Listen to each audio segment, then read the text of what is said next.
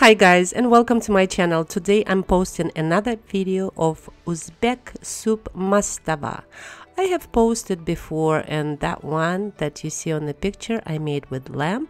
Today the preparation is going to be a little bit different and we are making mastava with meatballs. Mastava is a very popular soup in Uzbekistan and uh, in Uzbekistan they call it liquid plov because it will have all the ingredients that plov will have. So the meat the carrots the rice and garbanzo beans. Are you excited? Let's get started.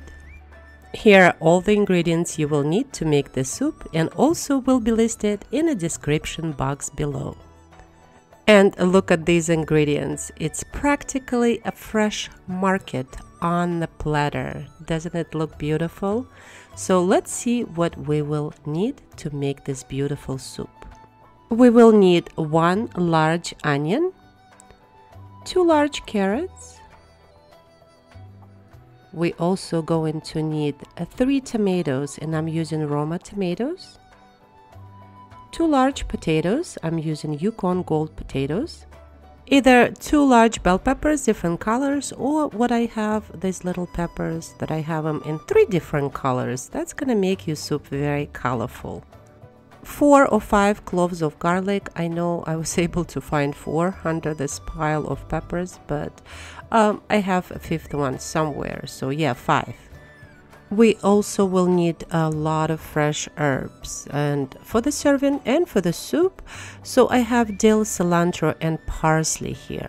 Since this soup called liquid plov, of course, we're gonna need some rice. So I have half a cup of rice that I soaked in cold water for half an hour, then uh, washed and drained. One cup of garbanzo beans. If you're using the dry ones, you need to soak them a night before. And or if you use them from the jar, just uh, wash them and drain them.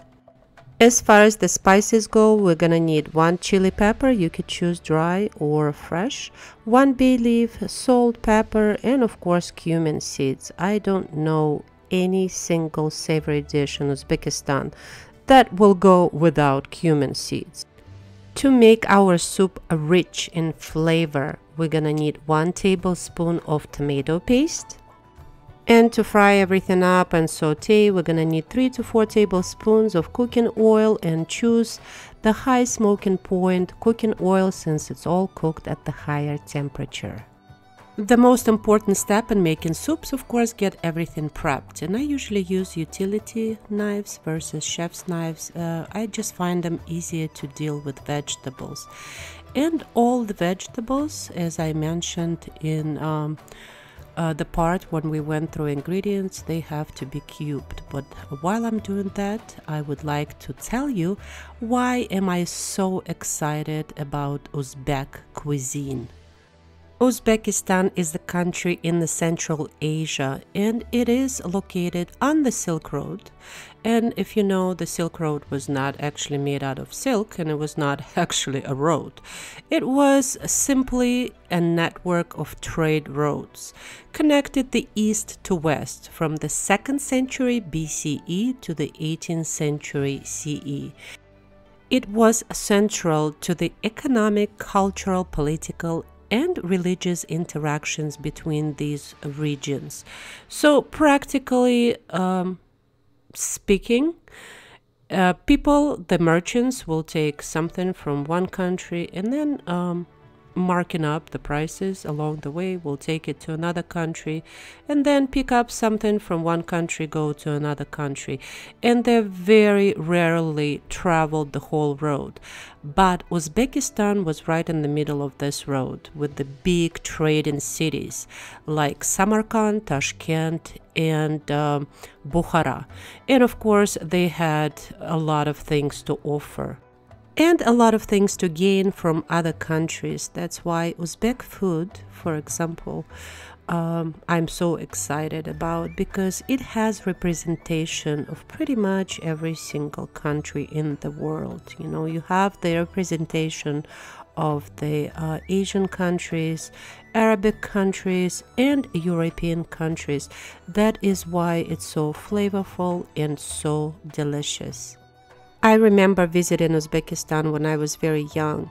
I mean, not that young, but young enough to remember that uh, the visit was absolutely amazing, and the host that provided the stay for us put on the table the most amazing meal. The, the, the table was covered with food, and before they prepared that, they went to the main bazaar in Tashkent that's called Alai Bazaar. We say it Alai, but on the building it says Olai.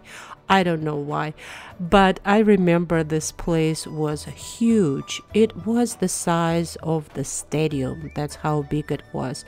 And then as you go the aisles of this bazaar, you can get absolutely everything there from fresh produce uh, to pickled uh, um, vegetables to um, fresh fruit and of course uh, you will get the most amazing meat market there. I think was the largest one that i remembered seeing in my life. It, you can get any cut or type of meat that you want to prepare a very delicious food at home. And of course the dried fruit and uh, the bread. You cannot go anywhere without eating Uzbek bread, which is called lepioshka. And the most amazing ceramics where you can actually serve your dishes in. Um, if you ever visited Uzbekistan, you will understand my passion for their culture and food. So, look, as I was prepping my vegetables and you were listening to my story, I have absolutely everything prepped for my beautiful dish. And that's how you should do. You stay organized and it will make your life in the kitchen so much easier, I promise you. In Uzbekistan, all the soups are made in this gigantic cast iron uh, wok called kazan. I'm just gonna make it in the pot. Um, I don't have kazan because it has rounded bottom. It will not stay on electric uh, stove.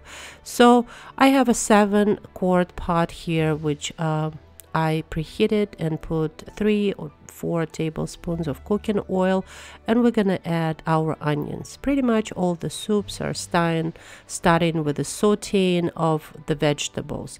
So uh, this dish is, uh, the vegetables are sauteed on a very high heat. So it's pretty much like an Asian style um, stir frying, I should say. Onions, bell peppers and carrots are gonna get sauteed until they're softened. Then we're gonna add a garlic and we're gonna cook it along with the vegetables for a minute or so and this spatula I'm using it I actually got it from Uzbekistan. A friend brought it for me and they use the spatula for making plov so pilafs. So then add your tomatoes and saute the tomatoes along with the vegetables. And as soon as uh, uh, your tomatoes are just gonna juice out a little bit we're gonna add our tomato paste. And that juice in the tomatoes is gonna help us to dissolve uh, that paste um, evenly um, throughout all the vegetables. And of course, the spices are going to go in the salt, the pepper, and the cumin. Uh, we're going to add the chili pepper and the bay leaf. Um, at the last moment when we actually mm, add in the liquid to the soup and that's where it is now so we're gonna add um, just water not any type of stock we're gonna add water to our soup so why water not any type of stock? Because the meatballs that we're going to add to our soup are going to create some stock for us. That's why. So um, we're just going to add garbanzo beans and that chili pepper and bay leaf. We're going to bring this soup to a boil um, and we're going to um, Simmer it for about half an hour until all the vegetables are completely ready. At this point, you can take out that chili pepper if you don't want your soup to be super spicy and the bay leaf. Now let's make meatballs for the soup.